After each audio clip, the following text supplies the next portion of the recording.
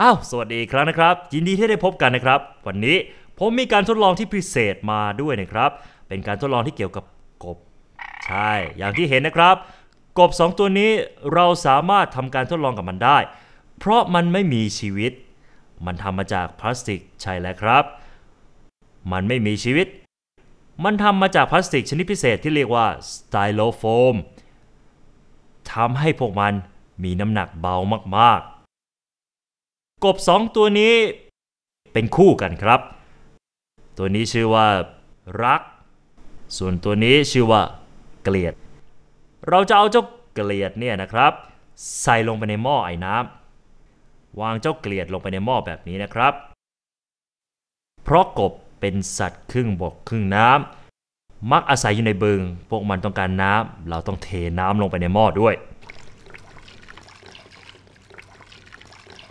ใส่ประมาณนี้ แล้วเราก็ปิดหม้อ และเปิดเตาไฟฟ้าให้ความร้อน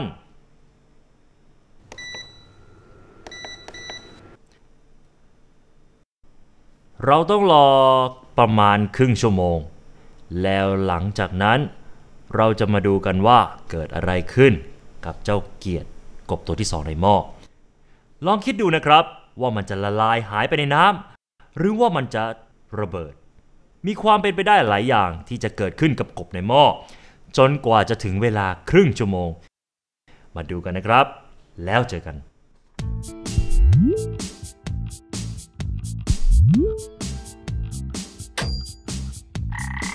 เฮ้คุณรัก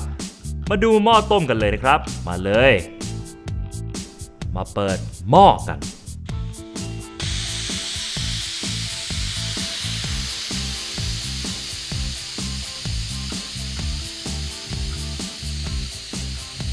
มีไอ้น้ำออกมานะครับ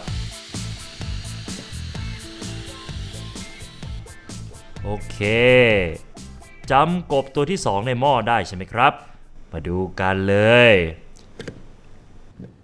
อ่ามาดูใกล้ๆนี่ไง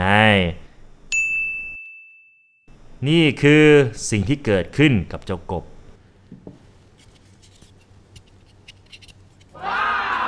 รักกับเกียรติอยู่คู่กัน เกิดอะไรขึ้นกับเจ้ากบเกียรติ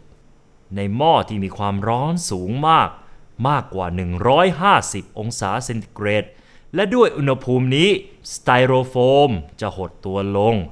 ในหม้อจะมีแรงดันจากไอน้ำแรงดันนี้ ดันให้อากาศทั้งหมดที่อยู่ในก้อนสไตโรโฟม หลุดออก เพราะสไตโรโฟมมีส่วนผสมของอากาศอยู่มากกว่า 99%และมีพลาสติกอยู่เพียง 1%เท่านั้น เจ้ากบตัวนี้แข็งมากขึ้น เพราะไม่มีอากาศอยู่ด้านในแล้ว และเราก็ได้เห็นอีกอย่างหนึ่งด้วยครับว่า ทุกสิ่งในชีวิตและในโลกนี้ ควรจะมีความรักมากกว่าความเกลียดชังนะครับ ขอให้สนุกกับวิทยาศาสตร์ สวัสดีครับ